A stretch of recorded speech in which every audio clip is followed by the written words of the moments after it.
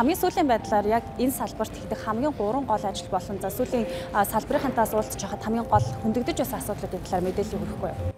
За энэ өдрийн мэндийг хүргэе.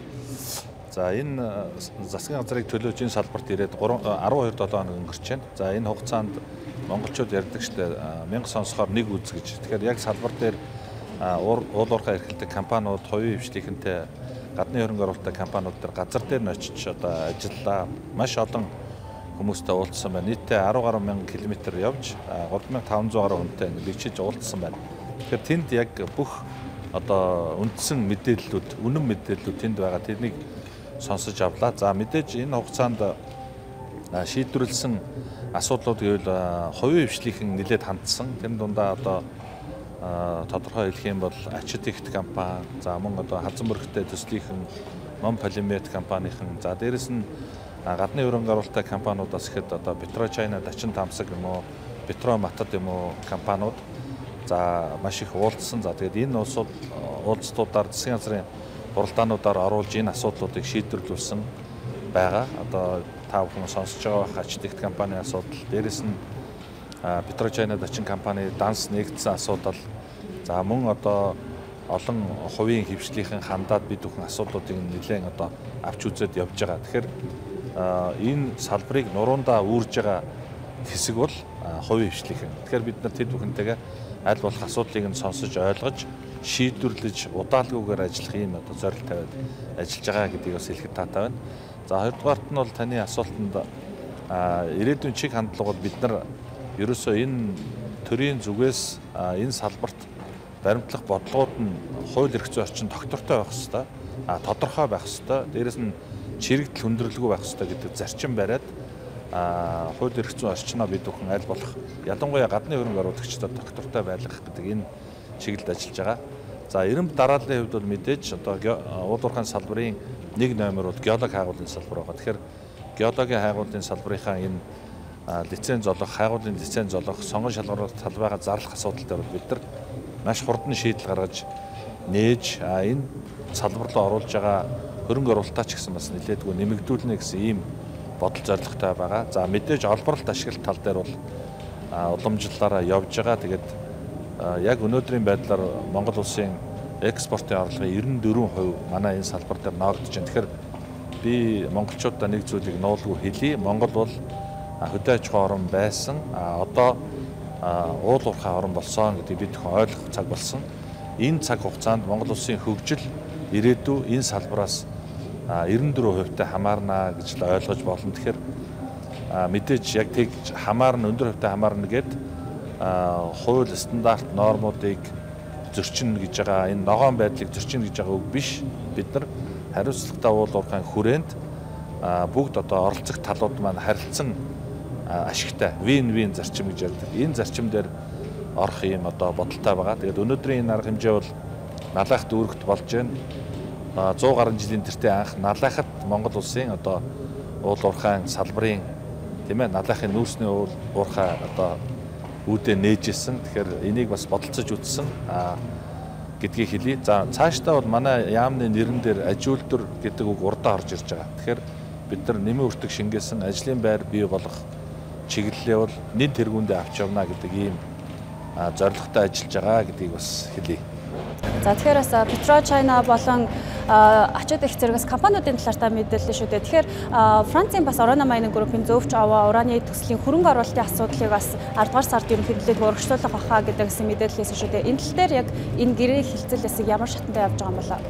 За манай засгийн газраас 14 мега төсөл зарласан. Энэ 14 мега төслийн 6 одоо төсөл нь бол манай ажил дөрвөл соёлын яамд хамааралтай явж байгаа. Тэгээд үүний дунд нэг нь бол энэ Орано компанитай байгуулах хөрөнгө оруулалтын ураны төсөл байгаа. А энэ ондоо багтааж хөрөнгө оруулалтын гэрээгээ зурна гэсэн байдалтай ажиллаж байна.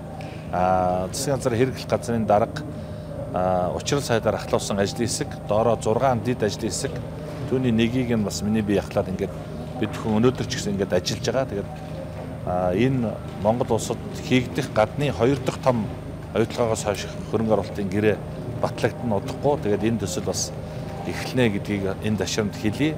За мэдээж том гэрээ учраас дээрэс нь биднэрт өмнөх одоо бас сургамжууд байгаа учраас аль болох алдаа гаргахгүй сайн гэрээ ихийн төлөө ажиллаж байгаа гэдгийг хэлье. Тэгээд энэ төслөө төсөл одоо хэрэгжиж эхэлснээр Монгол улс жилдээ 2500 тонн одоо шар номдог буюу ураны эслийг үйлдвэрлэж экспортод гаргаж тодорхой хэмжээний одоо валютын орлогыг олох юм зорилготой ажиллаж байгаа.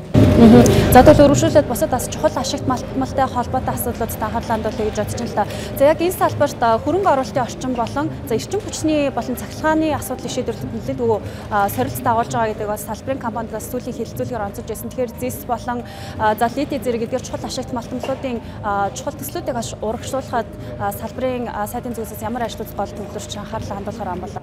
За дангаж Монгол улс гэлтгүүд дэлхийд тэр чигээр энэ critical mineral буюу чухал гэж нэрлэдэг байгаа одоохондоо энэ салбар руу орж байгаа. Тэгэхээр энэ дотор бол энэ газрын ховор элемент ч орж байгаа. Тэгээд лити, кобальт, цайр гэдэг одоо энэ нэлээд хідэн нэр төрлийн одоо элементүүд орж байгаа. Бид бүхэн ойрын хугацаанд энэ critical mineral-ийнхаа одоо жагсаалтыг бас батлна. Ямар ямар манад байгаа ямар ямар элементүүд орж байгаа талаар батлна. За дээрэс нь засгийн газрын үйл ажиллагааны хөтөлбөр их хурлаар батлагдсан энэ хөтөлбөртөө бид нар энэ газрын хавар элементийн асуудлаа нэн тэргуунд одоо дэмжинэ гэдэг бодлогоо гаргачихсан. За мэдээж энэ салбар бол шин салбар. А тэгэхээр нэлээдгүй одоо бэрхшээлүүд бол байгаа. Тэгэхээр энийг бид нар тэр хувийн хвшлийнхандаа дэм тус болох байдлаар шийдвэрлээд явна гэдгийг энэ ташамт хэлье. За дээрэс нь яг энэ өдрүүдэд Монгол улсад гадны одоо байгууллагууд мөн хувийн хвшлийнхэн оролцсон чухал ашигт малтмал түүн дотор газрын хавл элементийг одоо олон улсад үүсэж байгаа нөхцөл байдал за тэр нь Монгол улсад хэрхэн цаашаа хөгжүүлэх вэ гэдэг асуудлаар томоохон хилцүүлэг одоо гадаад хэргийн яамн дээр бас явж байгаа гэдгийг хэлье. Тэгэхээр шин салбар бид нар дэлхийн хөгжлөөс хоцорч болохгүй. Тэгэхээр засгийн газраас бол тууштай дэмжиж явна гэдэг хэлье. За мэдээж байгалийн болон газрын тос э, боловсруулах үйлдвэрийн асуудал нэлээд хүлээлт үүсэж байгаа шүү дээ. Яг одоогийн байдлаар газрын тос боловсрох үйлдвэрийн ажлын явц юу ямар байна? Ямар сорилтууд тулгамдж байна? За манай улс э, одоо тунгалаг нефть бүтээгдэхүүнээ 100% импортоор гадаадаас авдаг. Тэгэхээр түүнийхээ 95%-ийг Оросын холбооны улсаас ингээд импортлж авдаг. Тэгэхээр ер нь бол хараат гэсэн үг. Аа тэгэхээр бүхэл бүтэн улсын хувьд бол мэдээж энэ үндэсний аюулгүй байдлаа бодсон ч гэсэн энэ одоо нэг бүтээгдэхүүнээс бараг 100 шахам хувийн хамааралтай байна гэдэг бол бас асуудал. Тэгэхээр бид бүхэн газрын тос олборлож байгаа орон тэгэхээр бид нар өөрсдөө олборлож байгаа энэ газрын тосоо боловсруулад дотоодын хэрэгцээнийхээ 55%-ийг одоо хангах газрын тосны үйлдвэрийн ажлыг эхлүүлээд явж байгаа. Бүгд нарт энтгэг улсын одоо хөнгөлөлтөй зээл буюу 1.6 тэрбум долларын зээлийг энэ салбар руу оруулаад явж байгаа. Мэдээж энэ бол маш том төсөл 2027 онд ашиглалтанд оруулахаар зорж байгаа. EPC 1 2 3 4 гэх дөрвөн багц одоо ажлыг зарлаад явж байгаа бүх одоо ажиллагаанууд явагдаж байна. EPC 1 төслийг бол одоо комисс хүлээж авах шатандаа ингээд явж байгаа. Бэрхшээлүүд бол байгаа. Тэгэхээр энэ газар нутгийн боловсрол үйлдвэрийн төслийн ажлыг эрчимжүүлэх ажлын хэсгийг засгийн газраас надыг ахлах юм өөрөг өгөөд ажиллаж байгаа. Би бас саяхан газрын тус боловсруулах үйлдвэр дээр очиж Монгол Улсын ерөнхий сайтад ажилласан. За дээрэс нь энэ үйлдвэр бол нэг хэсэг нь а нөгөө хэсэг нь бол үйлдвэрийг хангах 1.5 сая тонн түүхий тосны одоо хэрэгцээ хэрэглээ үүсэж байгаа. Тэгэхээр энийг хангах гэдэг асуудал бол хоёр дахь маш том чухал асуудал. Өнөөдрийн байдлаар 24 оны гүйцэтгэлээр бид нар нэг 520 мянган тонн түүхий тос олборлж экспортлох ийм одоо дүн гарахаар байна. Тэгэхээр Үүнийгээ дахин 1 сая тонноор нэмэгдүүлэх шаардлага үүсэж байгаа. Тэгэхээр бид бүхэн ойрын хугацаанд газрын төсний одоо тал 6 талбайг зарлахаар бэлэн болгоцсон байгаа. За дээрэс нь нэг баяртай мэдээ бол өнөөдөр Английн одоо биржид бүртгэлтэй Петроматад компани олборлолтын одоо ажиллагаа өнөөдрөөс ингээд эхлээд явж байгаа. Тэгэхээр энэ бол бас энэ салбарт сайн мэдээ болно. Ингээд бид бүхэн тал талаасаа одоо Петро Чайна, Дачин Тамсаг, Доншин, Петроматад за мөн өшөө бусад компаниуд олборлолтоо явуулаад ямар ч байсан дотоодынхаа газрын төсний үйлдвэрийг 100% дотоодоос хангах гэдэг энэ зорилго бол бидний нэг номерын зорилго яам агентлаг одоо энэ тал руу бүх анхаарлаа хандуулж ажиллана гэдгийг хэлье. Тэгэхээр одоогийн шинэ хамтарсан засгийн газрын үед улс төрийн саад гарах нь ларцсангуй бага байна гэж бас өмнө дурдж байсан шүү дээ. Тэгэхээр ерөнхийдөө ажуул төр болон за эрдэс баялагын томоохон цэцлүүдийг хэрэгжүүлээд явхад хамгийн гол ямар боломж бололцоо Монголын талд гарч ирнэ гэж тарж байна.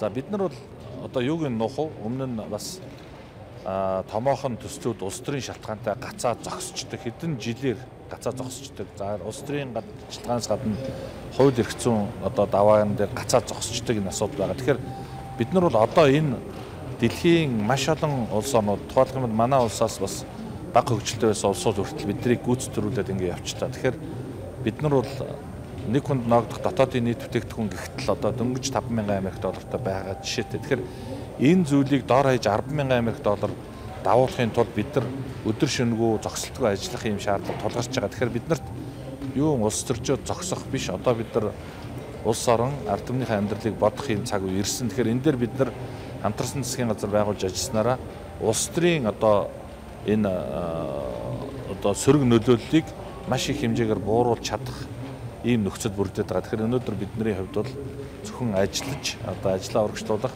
өмнө нь улс төрийн гацаанд ороодсон томоохон төслүүдийг урагшлуулах гэдэг энэ цаг үе ирчгээд байгаа. Тэгэхээр энэ олдсон боломжийг ашиглана гэдгийг бас танд хэлье.